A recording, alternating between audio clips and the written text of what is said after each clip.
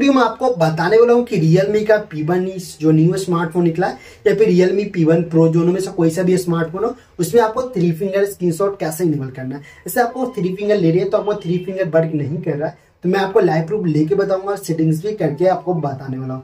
तो नीचे तो फ़ोन डिस्प्ले पे। और आप लोग पहली बार चैनल पर आए हैं चैनल को सब्सक्राइब कर लीजिएगा।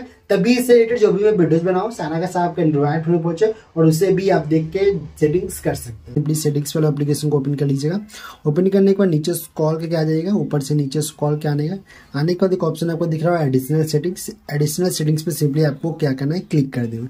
अभी जहाँ पे एडिशनल सेटिंग्स पे क्लिक कीजिएगा तो नीचे आएगा तो एक ऑप्शन आपको दिख रहा है स्क्रीन तो सिंपली स्क्रीन पे क्लिक कर दीजिएगा।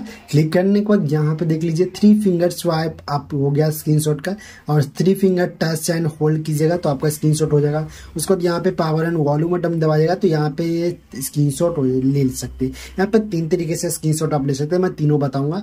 सिंपली तीनों को आपको इनेबल कर दिए और यहाँ पे तीनों को इनेबल करने के बाद अब यहाँ पे आपको क्या स्क्रीनशॉट आपको लेना कैसे। तो थ्री फिंगर से यहाँ पे तीन तरीके से ले सकते हैं। फ़र्स्ट में थ्री फिंगर लेनी होगी, और स्वाइप नीचे की ओर करनी है तो देख सकते थ्री फिंगर हो गया स्क्रीनशॉट लेवा गया।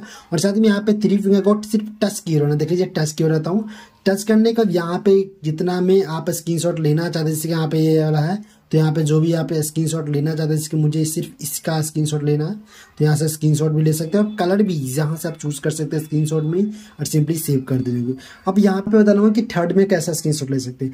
तो वॉल्यूम बटन का माइनस वॉल्यूम बटन पर दबाए रखना और पावर बटन को एक साथ प्रेस किया ना स्क्रीन हो जाएगा।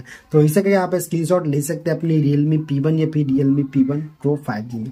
वीडियो जब आपको अच्छी लगी तो वीडियो को लाइक कर देगा चैनल पर पहले चैनल को सब्सक्राइब करके नोटिफिकेशन को ऑल पे ज़रूर कीजिए।